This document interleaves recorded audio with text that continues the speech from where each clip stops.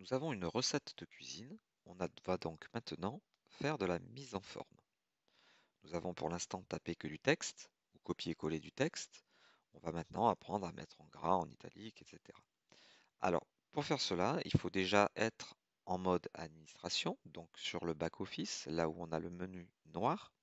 Et donc, lorsque l'on est sur le back-office, on va cliquer tout simplement sur la recette pour y accéder en mode modification. Une fois que nous sommes dessus, nous allons pouvoir faire de la mise en forme. Alors, commençons par la mise en forme la plus basique, qui est de dire bah, ingrédient pour 4 personnes, c'est un titre. Donc, je vais le sélectionner. Et voyez qu'en le sélectionnant, j'ai une barre d'outils qui apparaît avec B pour mettre en gras, pour bold, et I pour mettre en italique, tout simplement. Donc c'est relativement très simple. Je vais descendre un petit peu dans ma recette. Et puis ensuite, en dessous, on a une liste des ingrédients. on voit que c'est en gras et en italique. Hein. On a une liste des ingrédients. Cette liste des ingrédients, en fait, ce n'est pas des... Voilà, jusqu'à parmesan. Ce ne sont pas des paragraphes, mais c'est une liste à puces. Donc je voudrais avoir des petits points euh, à gauche de chacun des éléments de liste. Pour faire cela, eh bien, on va sélectionner l'ensemble de ces paragraphes jusqu'à parmesan. Et au lieu, dans la barre d'outils, vous voyez là, on a un bloc paragraphe. Je vais cliquer dessus et je vais dire que ce n'est pas un bloc paragraphe, mais c'est un bloc liste. Du coup, j'ai une liste à puces qui apparaît et donc qui rapproche les paragraphes les uns des autres.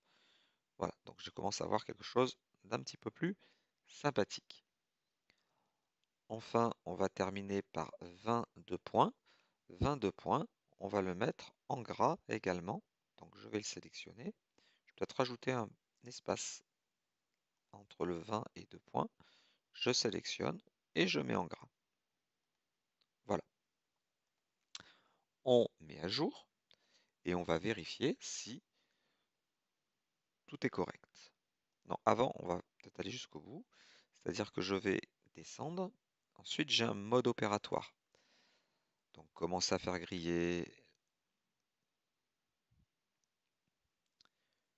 Alors, commencer à faire griller temps, laisser refroidir, retirer du feu. Tout ça, on va le mettre sous forme de liste. Laisser refroidir. Une fois refroidi, hein, laisser mariner le tout environ 30 minutes, cuire les pâtes, les égoutter et passer sous l'eau, bien égoutter, mélanger les pâtes, ajouter, donc à chaque verbe en fait, hein, je, je vais à la ligne. J'ai donc constitué ici un mode opératoire, premièrement, deuxièmement, troisièmement. Donc c'est à nouveau une liste, puisque je dois faire les choses les unes après les autres. Je ne vais plus que jusqu'au bout. C'est à nouveau une liste. Sauf que je ne veux pas que ce soit des listes à puces.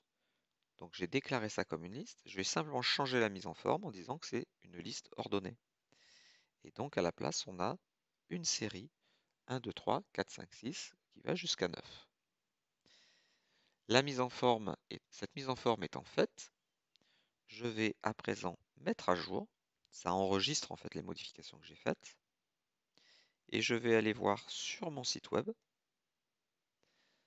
Je retourne sur Avotoc. Je clique sur. Vous voyez que là, ça n'a absolument pas changé. Je clique sur salade de penne. Par contre, là, on a bien ingrédients en gras et en italique, ma liste à puces, le texte en gras et ma numérotation.